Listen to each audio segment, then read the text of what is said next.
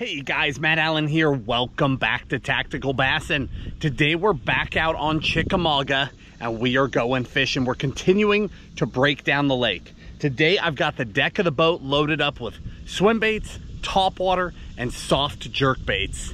Let's go catch some fish.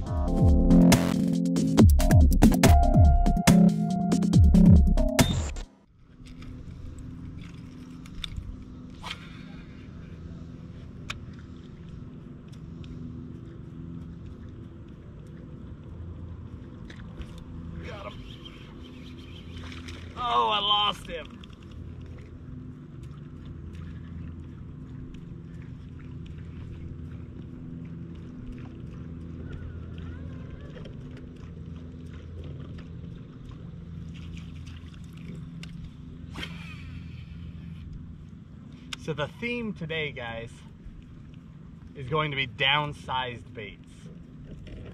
I've noticed the last couple days out here that the bait fish that these bass are eating are tiny. Inch, inch and a half long. It's just time of year. That's what's up in the shallows right now. So even though we're catching fish on all sorts of things,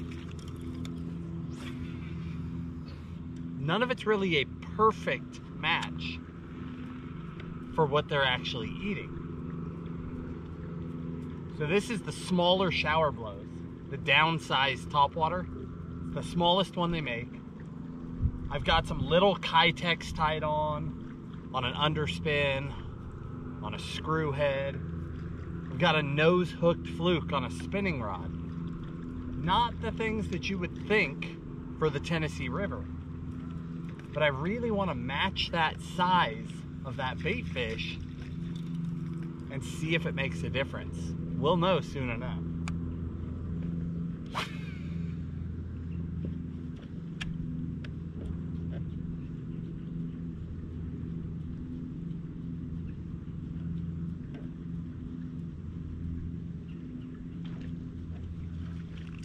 They're busting right here next to the boat.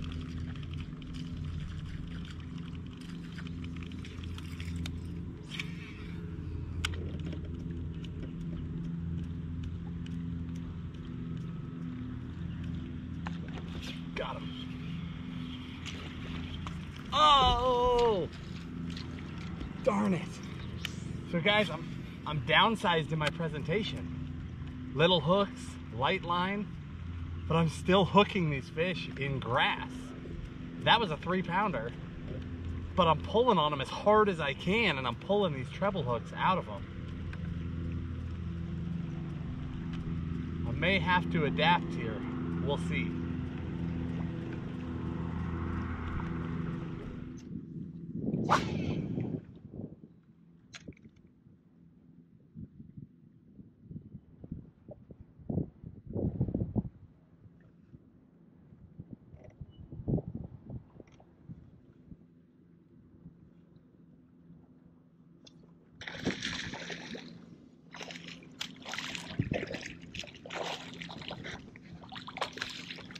All right, we're on the board. That one ate a 3-3 Keitech on a flashy swimmer. It totally downsized from what we've been throwing. I'm throwing this on a 610 medium, my jerk bait rod. Little tiny flashy swimmer hook, but they're eating it.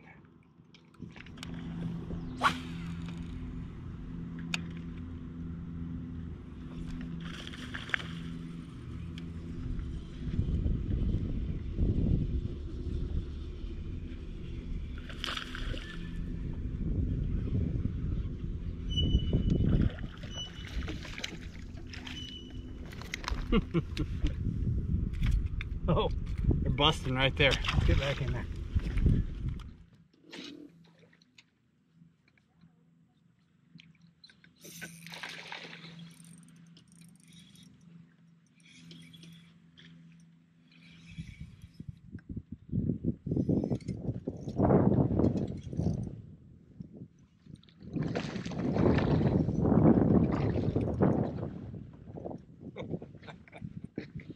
Oh, too much fun. You know, I did not see myself immediately throwing a spinning rod out here on the Tennessee River. But you need to know what the options are. You've got to try. That was on a nose hooked fluke, essentially the banjo minnow rig. Not even the standard fluke. Normally I do this with a super, well I shouldn't say standard. Normally I do this with a super fluke. This is the standard fluke, that smaller size. I've downsized everything today. It's about, I'm confident I'm gonna get a lot of bites. It's a, hang on.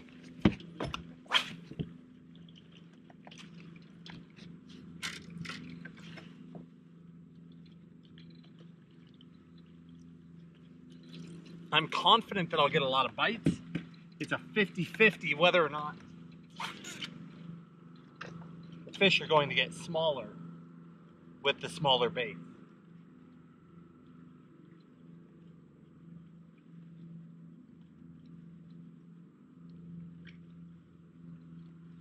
Sometimes going to that smaller bait will get you a smaller bite. Sometimes the fact that you're matching the hatch overshadows that and you can get a quality bite. We just don't know until we try.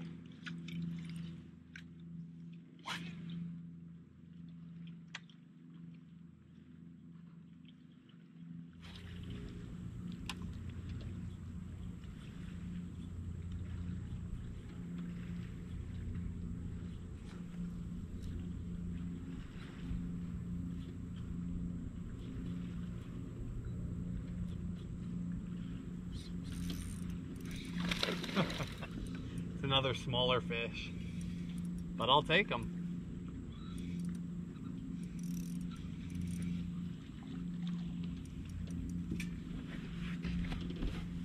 It is amazing how they all get hooked so well on that nose hook fluke. Come on. Right in the roof. A lot of times it's in the back, right in the roof. It's very consistent. They eat that hook, or they eat that fluke head first every single time.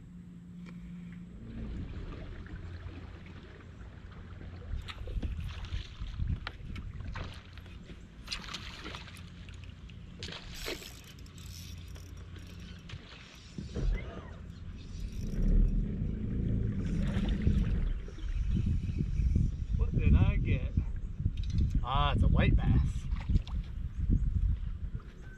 Come here. He ate the spark shad on a screwhead. Totally different look and presentation. Man, it works.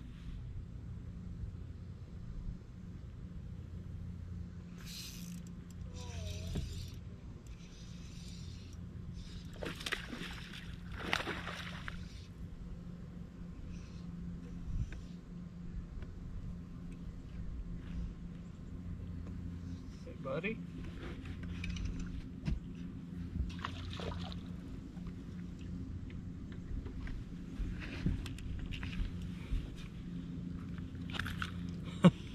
Look where that screw head is. You think he wanted that thing? Oh man. All the way down. Awesome.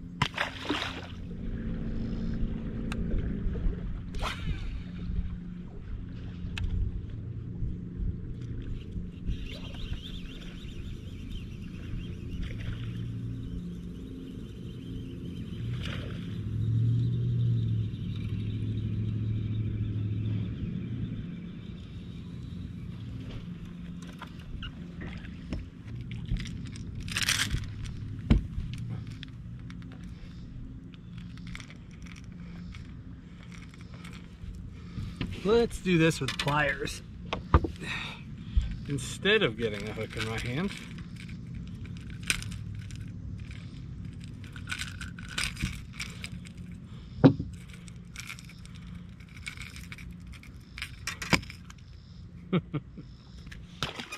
All right, while we've got a brief lull in the action, I wanted to explain the baits I'm throwing and again why I'm doing it. Uh, the first one here is that fluke. You know, a fluke is an incredibly deadly bait, but this is that smaller sized fluke, number two hook on eight pound fluorocarbon leader.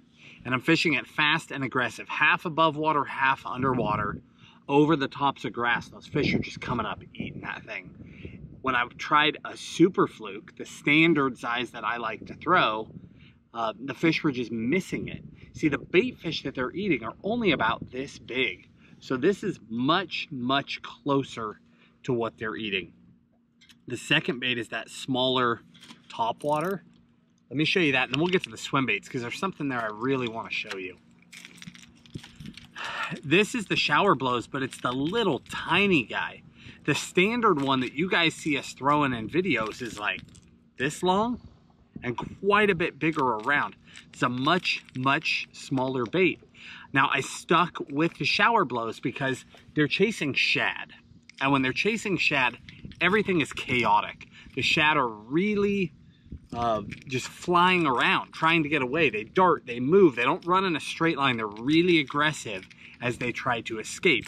So I wanted a shower blows because it turns really hard and it throws a lot of water, makes a lot of commotion as it's walking. But I wanted that small size to try and better match what's going on out here. And that is definitely working. Now the swim baits, this is what I wanted to key in on.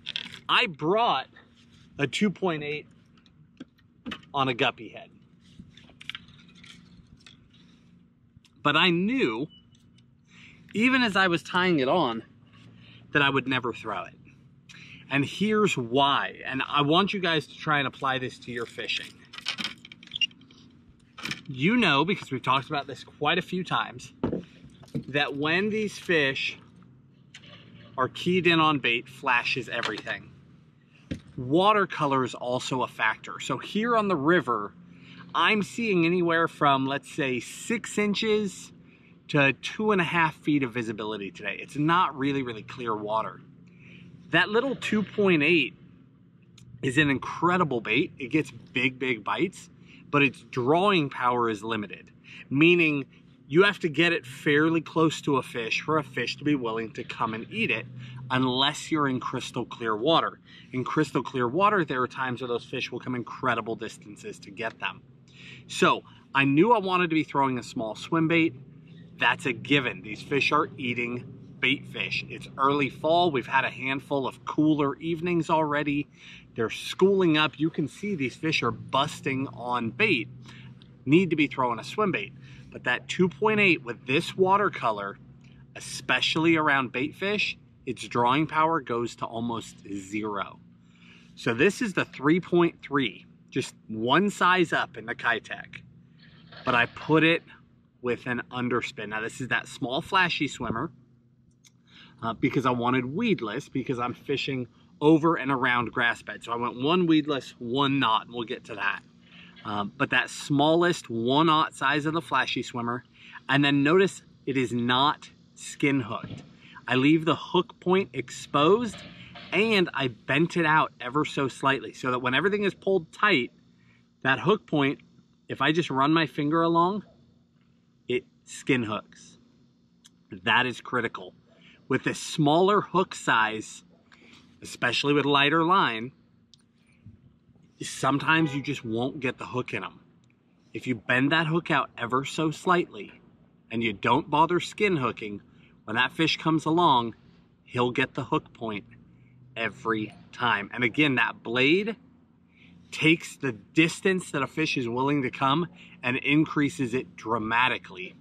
And also the flash coming from that blade helps you stand out. Even when they're busting on bait, if you get that thing in there, they'll veer off the bait fish when they see that flash and come right in and eat it. Then the last one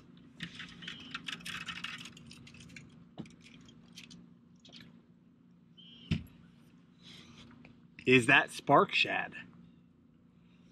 And that again is on that screw head. So a lot of you guys are familiar with this because we throw it a lot for smallmouth. But that screw head is a destabilized head. The blade is smaller on one side than it is on the other. So it puts a ton of wobble out. So as you reel this through the water, it's almost like a finesse natural spy bait.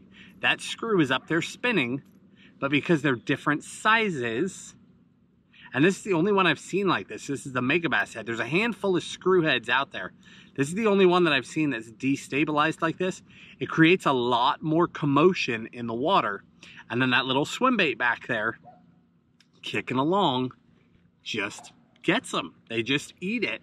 So again, added flash, added vibration is key to stand out around these bait fish and it's also key to stand out in that murkier water. Whether you're on the Tennessee River or you're a pond fisherman or you're in a reservoir somewhere, it really doesn't matter. If that water clarity comes down a little bit, key in on those bladed hooks. It doesn't matter which style, try them all. You'll find the one that seems to work the best with your fish. But key in on those blades and you will get more bites. Also with these, because they are lighter hooks, you can go to a lot lighter line. I'm noticing right now mine is nicked up and needs to be retied. But you can go to a lot lighter line.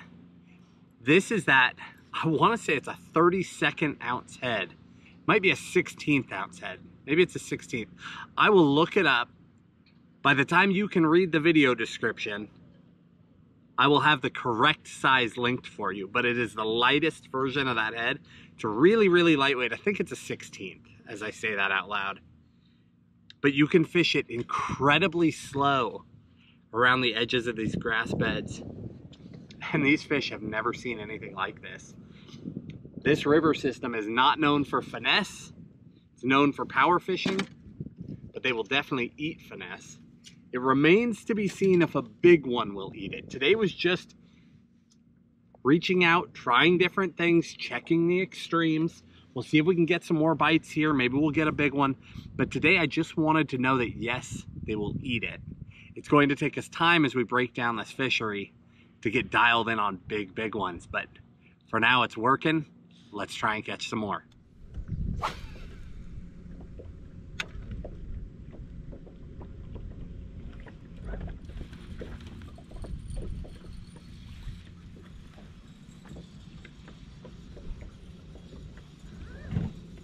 I've got one on, but he's buried in the grass. He doesn't look very big.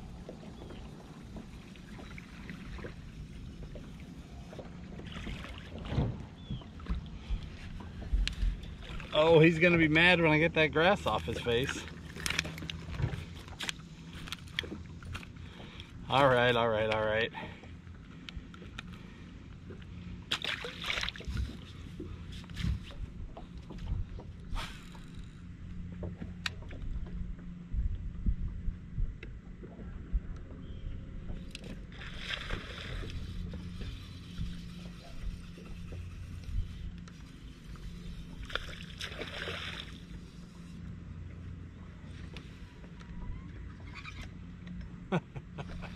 That one is fired up.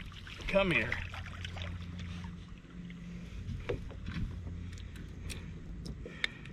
Ate that flashy swimmer again. Nice one.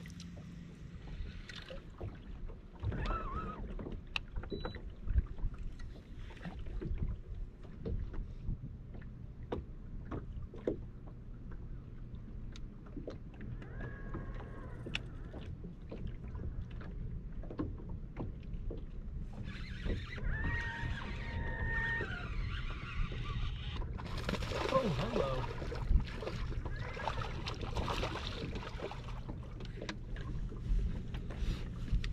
Awesome. Guys, I backed out just a little deeper. Saw some fish down on the electronics. Dropped a Jackall tail spinner down there. And got a good one. It's on that one ounce tail spin just as soon as it hit the bottom. Let's see if we can get bit again.